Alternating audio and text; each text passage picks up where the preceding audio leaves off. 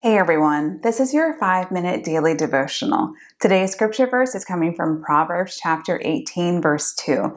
It reads as follows Fools find no pleasure in understanding, but delight in airing their own opinions. I knew this person once who just sort of had a lot of opinions a lot of opinions, a lot. And the thing was, they weren't some sort of malicious person who didn't, you know, have lack of concern for any and everything else. No, they were compassionate and had a compassionate heart. It's just sometimes when they kind of got going with their opinions, they didn't realize that in sharing them sort of in the way that they did, they were hurting people in the mm-hmm. process. I was speaking to them once and I just sort of said, Oh, hey, are you guys going to do so and so, this sort of like little thing? And they said no, but it was sort of the way that they said it, like they would never do something like that. And, you know, it was sort of, you know, beneath them, even though some of the other people were kind of doing it. It was kind of like if they had an opinion, if they had a thought, they weren't afraid to share it, but they weren't afraid to share it. And if you didn't agree with it, you were kind of the fool. And again, I'm not even sure they realized they were doing this. And I don't think at all that they were doing it in sort of a malicious way. They were just sort of, you know, really, I think in their heads, they were thinking, no, this is the way it should go. This is the right way. And I think just very practically, they weren't considering anybody else, not in sort of a mean way, just like in a very factual, practical way. Like, no, this is the way it should go, and that should be it. We read in our verse today that fools take no pleasure in understanding, rather, they delight in airing their own opinions. Meaning, you know, a person, if they aren't willing to sort of stop and understand a situation or stop and understand why a person is saying something or why a person is doing something or stop and sort of understand the kind of history or the makeup or you know all the details involved but instead of stopping and caring about kind of the other factors happening they just think you know what? No this is what i think and this is what i want it to happen. This is what should happen without considering anybody else. You know the bible is saying they're fool. Now again i'm not saying fool in sort of like a malicious way.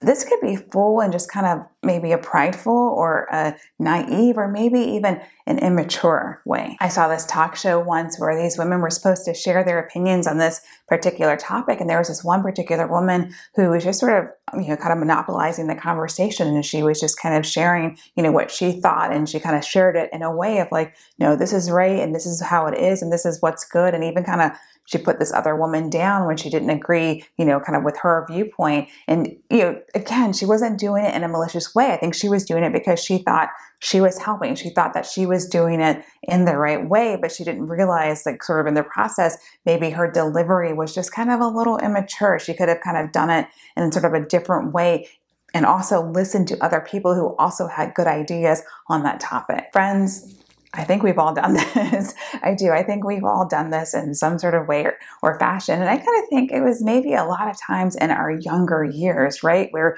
we finally get a little knowledge and a little information. We finally start understanding kind of how we think this world works. And we just can't wait to show people, you know, oh, we know this. And, you know, can't wait to share our opinions and can't wait to share that we have a little information. At some point, though, we should mature. We should learn to be quick to listen and slow to speak and slow to become angry. We should realize that everybody has experiences and thoughts and ideas that God has given them. Everybody has, you know, the image of God implanted in them and they have something to say. And sometimes, you know, yes, we have all of these great ideas, but maybe other people have great ideas too. I remember I was talking to some family once and this one, you know, family member gave me this, you know, advice and this other family member said something and I thought, oh, wow, yes, that's a really good idea. That's great advice. If you have a tendency to share your opinions, don't feel bad. This is not to condemn anyone, but at the same time, be willing to listen and be willing to kind of understand hey, maybe they have some thoughts and ideas too.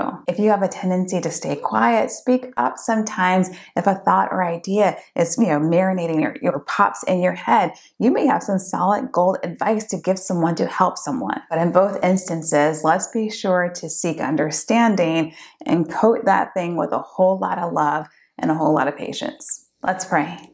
Lord Jesus, we thank you, God, that yes, you know, you remind us we should be slow to speak, slow to get angry, and quick to listen. We sometimes hear that adage that we have two ears and one mouth, God. We should be listening twice the amount of time that we should be talking sometimes, God. Help us, Lord, if we are, you know, very quick to speak up on things. I am in that group. Help us, Lord, to to take a step back, to listen more, to understand that other people have good ideas, that it's not all us sometimes, that we could get wisdom from other people, from counselors. And if we have a tendency to kind of step back and not speak up, help us to speak up a little bit more, God, because we have things to share that people haven't thought of. Help us in any case, God, to seek understanding, to be respectful, to be loving, to be kind, to be mature in our approach, God, where we are not putting people down, God, but we are cultivating an atmosphere where all people feel safe and can speak up and can share love with each other. We thank you, God, in Jesus' name. Thank you guys so much for spending this time with me. If you enjoy this devotional,